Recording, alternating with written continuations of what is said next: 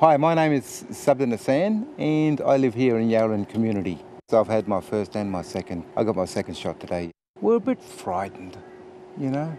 We're, we're a bit frightened. You know, this is also new to a lot of these people here.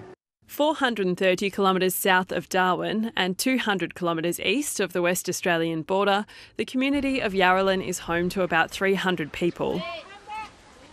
We've saved a lot of lives in this clinic, myself, the nurses, and the doctors, and they should believe us rather than whatever's on Facebook. Lorraine Johns has worked as an Aboriginal health worker in Yarralin for more than two decades. She's at the front line of the remote COVID 19 vaccine rollout. We've had a good number of clients come in and get the vaccine. However, we, we have been having some resistance due to misinformation on social media. They're talking about what they've seen on TikTok, YouTube, Facebook, the clinic's facing staff shortages too. Most of our clinics are one or two nurses down on, on any given day. Nurses are taking up vaccination jobs in urban centres rather than going remote. Some are locked out of the NT completely due to border restrictions. We're based in the region west of Katherine, uh, all the way to the WA border and down to the top of the Tanami Desert. So we have a really uh, quite a massive area that we cover. It's between the size of Tasmania and Victoria um, resident population around about 3,000 people, um, mostly local Aboriginal people, and that's who we are targeting with our um, vaccination campaign. In Yarralin, that means door knocking and chatting with residents. And now a healthy cook up at the clinic. They can come over feed and ask questions, get more information, soak it up, and hopefully they'll roll their sleeves up, eh? but it can be tricky. Every time all us boys sit down and talk, you know, there's always blah, blah, blah, blah, you know, oh, don't get that, this and that. And I say to them, you know, we got countrymen. They're having a bad time down in Sydney.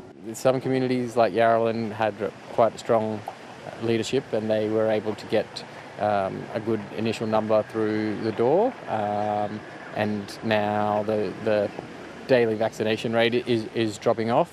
In the end, seven people here in Yarralin today got a vaccine dose. It may seem small, but it's not insignificant in a community where the eligible population is less than 200. But then there's the ineligible population. There's children in our family and there's, there's children under, under 12. And so if we've got that level of protection in the household, well, we're kind of looking after those kids at the same time. Children 12 to 15 are eligible for the vaccine now in the Northern Territory, but Katherine West hasn't started vaccinating that age group yet. With the rates in Yarralin now at about 35% first dose and 25% second, people are wondering what will happen when the NT reopens to places where COVID's taken hold, like Sydney and Melbourne.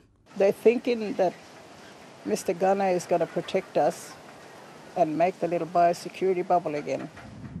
She's referring to how remote communities were effectively cut off last year, but not everyone is so sure.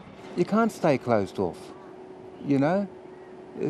Economics, um, countrymen want to travel, you know, kids want to go back to school. Get your vaccine. We have it here in the clinic now today.